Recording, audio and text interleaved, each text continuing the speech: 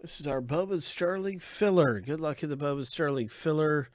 Uh, there will be three winners. Three winners who hit in the break in this uh, filler. And if you win and your name's in the top three, then you get spots in a Sterling that go for 30 75 for 660. So you want to be in the top three to win those spots. Good luck in the filler.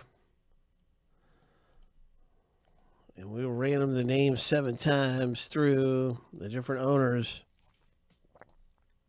Seven times. so here we go.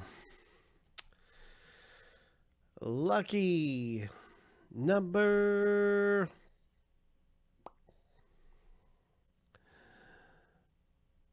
seven.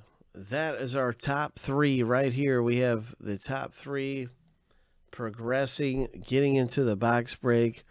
Roy, Greg, and Justin. Roy, Greg, and Justin, congratulations in the filler where three owners progress into the box break of Sterling Baseball. And Sterling is coming up. There's not many spots left. Right now, we're down to six. And so that is very close. Do you think we should make another filler for that?